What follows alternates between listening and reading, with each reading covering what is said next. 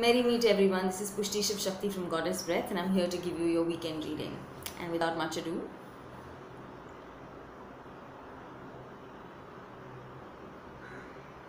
it's wattle, and it says laughter.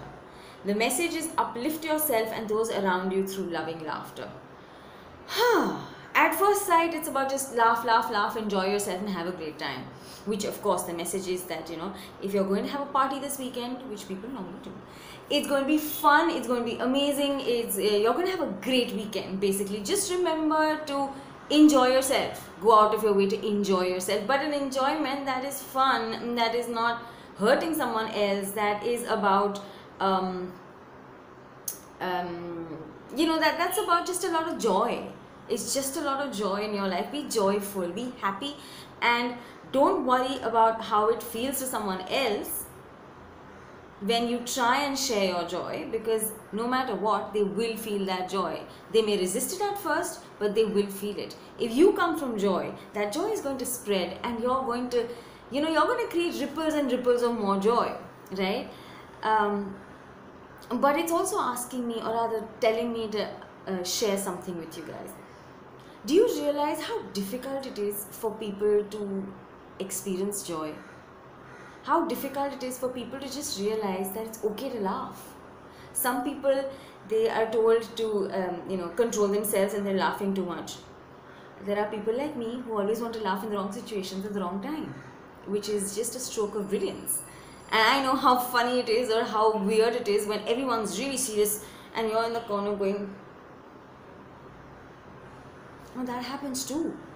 Well, so if there are others out there, I'm glad to know I'm not alone. But really, does it matter how you're, you know, how you're received? Does it really matter?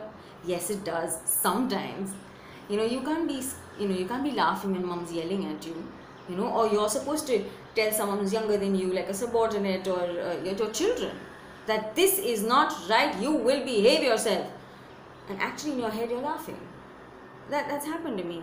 Not my children but my students you know. When i'm kind of trying to teach them something and i'm getting a little angry and then i'm laughing in my own head. But i've realized one thing that you know i can't keep my laughter in. My laughter is like boiling water. It bubbles bubbles bubbles and then it flows over you know it just flows over. And it is such joy to allow it to flow over. And i know all of us have that that that spring of laughter and joy within us which is what we need to allow to express itself. This time you need to be careful about how the people around you are enjoying and receiving your laughter. You don't have to change it. Maybe you can change the way you share it, right? The idea here is to have as many people laughing and as many people happy and joyful as you can. It's about knowing that just a, a bit of laughter can change someone's day. And one person's day changed can be again a ripple effect of many people's days changing. Can you do that for yourself? Will you have this weekend a laughter weekend? Will you give this weekend the laughter, the joy that you have in your heart? And continue to do so if you will after the weekend.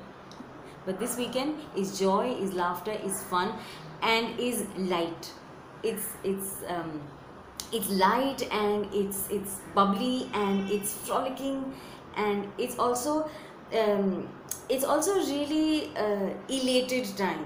You know it's a little elated time. It's also very beautiful to open your throat chakra because laughter opens your throat chakra as well. And it opens your heart. It opens your heart as well. So enjoy laughter this weekend and tell me how you felt and tell me how much you laughed and how much you made people laugh. I'm waiting i'm looking forward to hearing from you. I'm sorry got distracted by that. So i am looking forward to hearing from you. Lots of love See you on Monday.